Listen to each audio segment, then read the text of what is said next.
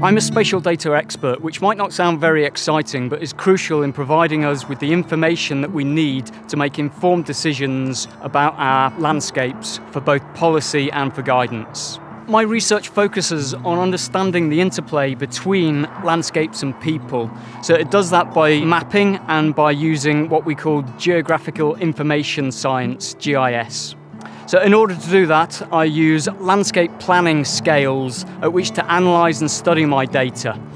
And so I look at patterns across wide scales at cities, regions, or countries. Mapping's a great way at bringing together different sets of information and data so we can learn more about that data and particularly about analysing patterns and relationships between different data sets. This has been really helped by the explosion of data that we've had in recent years through increases such as satellite data but also crowdsourcing information. So some of the main areas on my work involve looking at the statistical relationship between urban green space and our health and well-being.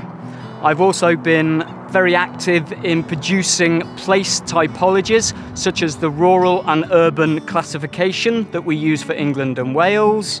So what's critical is for our students to understand how to use information and be critical of that information so they can themselves make informed decisions both for their designs and to inform the work of others and policies so that we can make better future landscapes.